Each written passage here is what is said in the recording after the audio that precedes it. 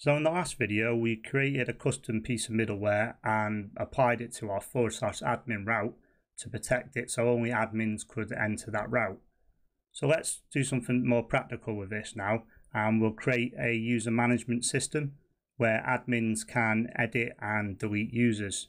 The first thing we want to do for this is create a new resource controller for our users. So to do this, it's a simple PHP artisan make colon controller and I'm going to namespace this under admin. So we do admin double backslash user controller and then we pass it a dash R to say that we want it to be a resource controller. Then hit enter. So that controller was created for us under app, HTTP, controllers, and then under the admin folder, because we namespaced the controller, and user controller. So because this is a resource controller, it gives us a couple of methods uh, already there for us to use. But we're not going to use all of them, um, so let's remove them. So we don't want to create or store because users can already sign themselves up. Um, we probably don't want the show either. Uh, we want the index obviously to show all the users and edit to edit the users and the update is to persist the the changes into the database and we'll keep the destroy to delete the users. So let's update our routes now. So in our routes, we need to let Laravel know about the uh, resourceful control we just created. So let's create a new route and this will be a resource route and the URL will be forward slash admin forward slash users and that will go to the admin backslash users controller and now because we've removed some of the methods, we need to tell Laravel that we don't want those methods included in the uh, resource route group. So as a third parameter, pass it in an array and we say except. And then except, we're going to pass in another array of the function names that we don't want it to show. So the first one is show, next one is create, and the last one is store. So just a quick correction, I called this user controller, not users, so let's just knock the S off, give that a save. So if we come into a terminal and type php artisan route colon list, this will give us a list of our routes. Now we can see our routes from the resource controller. So we've got our index, update, destroy, and edit method, and we haven't got a show, create, or store because we put them into the except array. So now we have our route set up, let's put a link into our front end so our users can click on that link. So if we just head over to our users controller first in the index method, and I'm just going to do a die and dump here and just say index so we know we've hit the right controller, so just save on that. And then come to resources, views, layout, app.blade.php. Then inside the left side of our nav bar, I'm just going to put a new list item with a class of nav item and then I'm going to use that route that we just created, users.index, and we're going to name with text manage users. So let's give the page a refresh. See we have our manage users link, and if we just click that, it takes us to our index method. Now I'm going to make a few changes to this route. So this these changes are going to make it more flexible and easier to manage as the site grows and we might add more controllers that only the admin might have access to. So let's create a new route. And we're going to give this a namespace.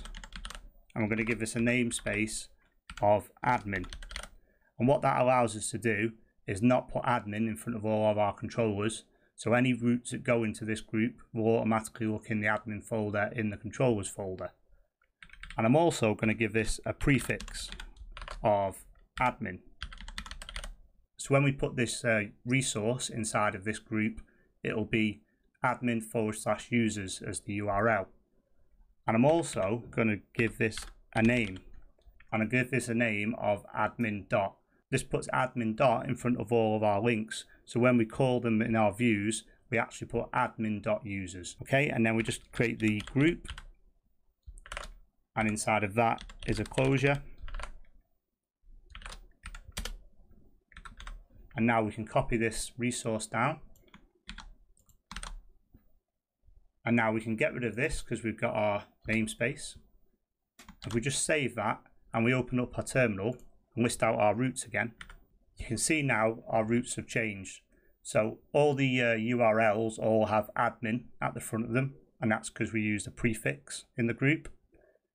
All the names that we use to reference them in our views have all got admin at the front of them. That's because of the name. So this makes it easier. And also when we come to protect this route later on in this uh, video with middleware, we can apply the middleware to the entire route group. Well, let's do that now. So to protect this route group as well, we can simply add in this middleware here. It's exactly the same and we just pop it in here. So we're also saying now for this group, apply the middleware auth and auth.admin. So any controllers now that we put inside this route group will have all of these properties so we won't have to repeat them over and over. So now in our view as well, we need to update it because it's route users.index no longer exists because we prefixed them with admin.users.index. Let's just save that, give it a refresh. Now if we hover over this, you can see it's saying us to forward slash admin forward slash users and we get our index method. So let's build out the index method.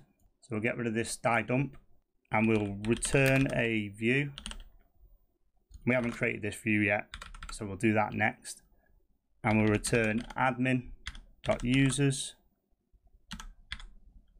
dot index and we want to send down to that view the users so we can use the with method and we'll call this users and we'll call user and we want to get all the users. Now don't forget to bring in user up the top here.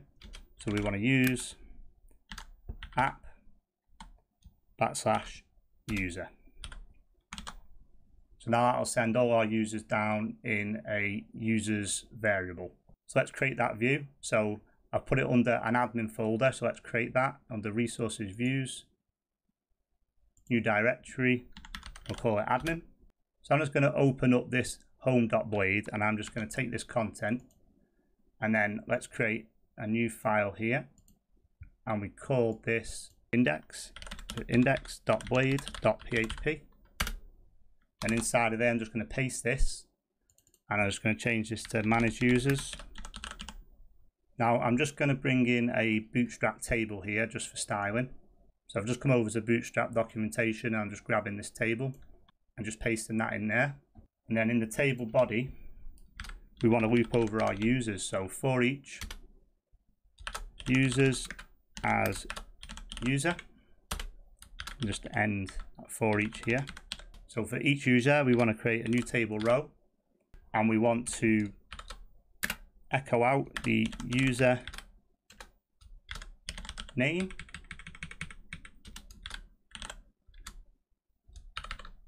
and also the user email. So we can get rid of these hard-coded rows from the Bootstrap documentation. Just change our row headers, um, change that to name, email, and we'll get rid of these two for now. And then let's view our changes in the browser.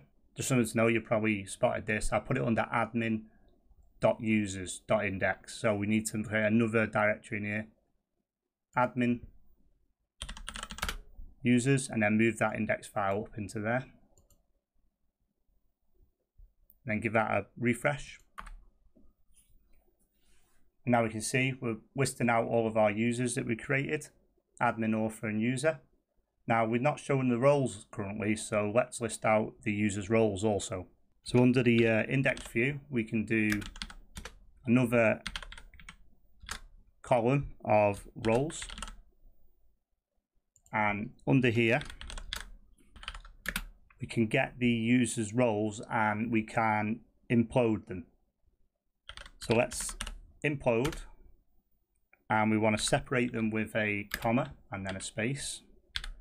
And we're going to implode the user their roles we created that roles relation on the user model, didn't we, in an earlier video?